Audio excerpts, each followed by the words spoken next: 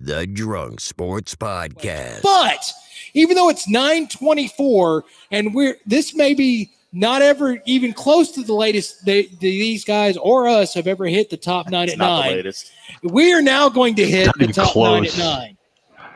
It's 9 p.m. Kind of. And that can mean one thing and one thing only. That being that it's time for the Drunk Sports Podcast. Top 9 at 9. This is, of course, the segment to where we search the internet and look for a list that we like that's normally a top 10 or top 15 list, and we make it a top nine because we like the fact that nine and nine happens together. Um, tonight's list is, is The little, only thing better than nine and nine together, is a six and a nine together. I didn't Right. even have to say it. Yeah, because that way you're not, you know, bumping heads. Yep. So Just wash down there first, girls. That's all I'm saying. that's right. That's right. Or, or not. Some people, whatever. some people like it gritty. You Whatever know, works for some people like it gritty. I, I always carry floss. All good. Tonight's list is brought to you by things that, well, I found on Facebook. And I decided, well, you know what? It's an oldie and a goodie. And some of you may know it and some of you may not. This is the ultimate to do list of things that you should do before you die, not because of prosperity or history or anything else, just because, well, these situations would be damn funny. Uh-oh. Honorable mention. Number one, oh, actually, only one honorable mention. It's uh, follow joggers around in your car, blasting "Eye of the Tiger" for encouragement. Just go to a park where you see a bunch of people running, roll down your window, pop in Eye of the Tiger, pull it up on your phone, whatever, turn the volume all the way up, and slow to a crawl behind them and see if they don't get down with it. I love that. I feel like we should be doing all of these. I think at some point we are going to do some of these just as a bit, and we'll film them as clips Yeah. and we'll put them up on the YouTube channel. At number nine, this will take a little bit. It may take somebody with a little more patience than any of us have, but at number nine, there's a couple others that's going to take a lot more effort than what I think we want to give it.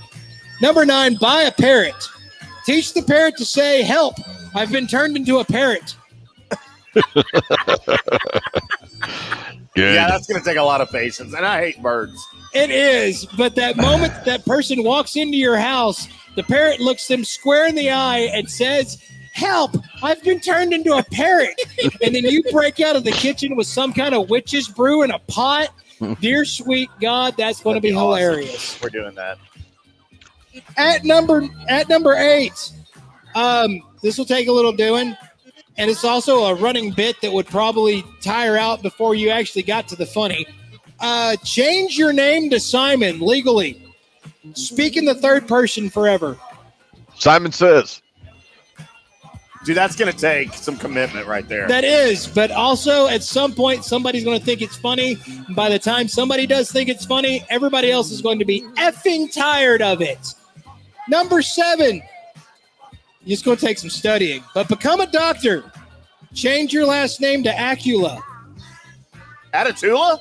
No, Acula. Just so your your nameplate Dr. on- Acula? just says Dr. Acula or Dracula. Dracula. Everybody's going to walk into Dracula's office. That's genius. At number six, and this may be one of my favorites, and this is one that I am definitely going to try.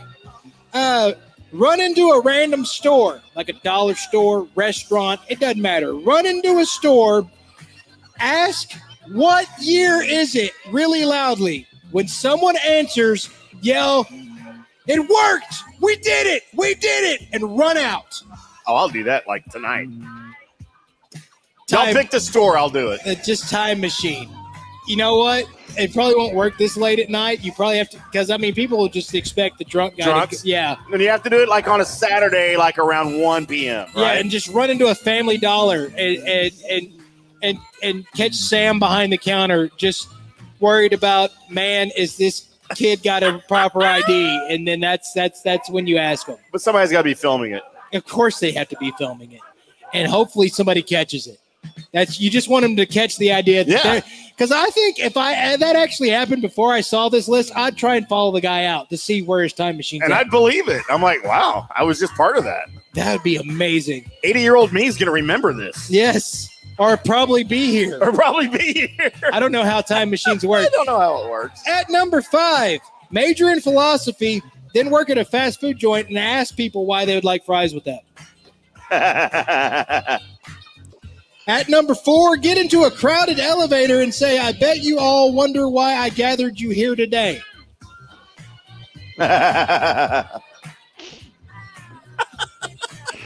This this actually might be something fun for Big Red to do, especially on just the random the one street corner he has in the place that he lives. it's a why. Um, eh, to go to the Y, Red, and what you need to do is during the daytime when it's the the busiest it can possibly be, you need to get a shirt that says "Life," and then just go out there and hand out lemons. because life hands you lemons. Whenever life gives you lemons. At number two, this is going to take some money, but I swear to God, at least you'll find it funny. You hire two private investigators. You get them to follow each other around. And then report back to you. Yes. That's awesome. And at number one, this again involves a crowded street uh, corner and or a park or something where there's a lot of people that are watching.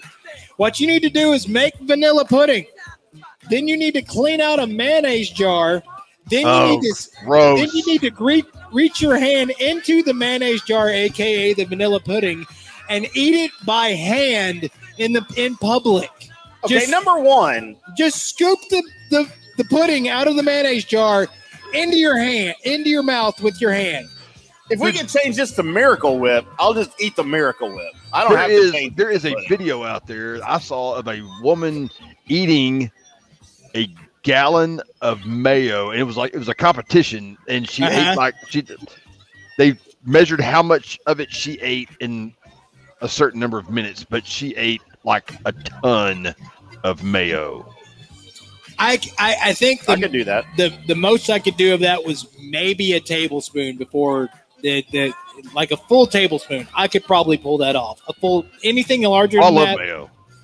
Yeah, but it just by itself, Yep, you know, it's got to be on something. It's I dip food my lube. French fries in mayo. It's food lube.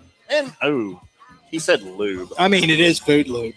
If you had lube on your DSP bingo card, mark it down. Yeah, you, yep. And also, you can go ahead and have that on there probably every single night. You'll probably go ahead and catch a winner at, at some point because we'll probably probably go back to lube. All 19 of you that are left in the bar right now. That's right.